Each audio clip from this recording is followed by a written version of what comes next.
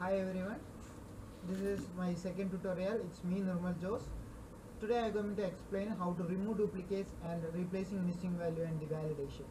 In this, yeah, I am just taking the data set from the samples, samples data, and from there is uh, iris data set, and I'm, I have dragged and dropped everything already for uh, skipping the time lag.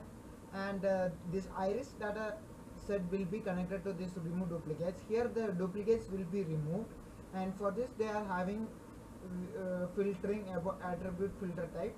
And this we are they are providing like single subset or regular expression like that.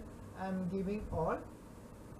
And missing replace value also i'm giving all because i have to replace all the missing values. And i will use average because there should not be any change in the result if it is maximum value there will be a change and if it is a minimum value also there may be a change. So i'm choosing the average average and uh, now we can go for the result. This is the design part. We can go for the result. In result now we can play. Then it will show the result.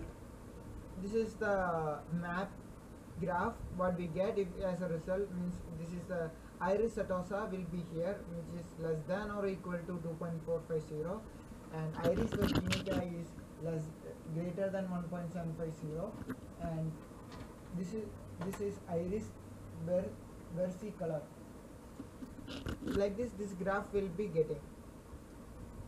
And this will be the sample set actually.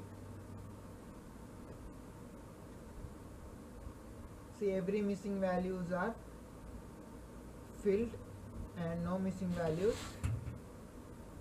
no missing values this will be the result. Thank you for watching this video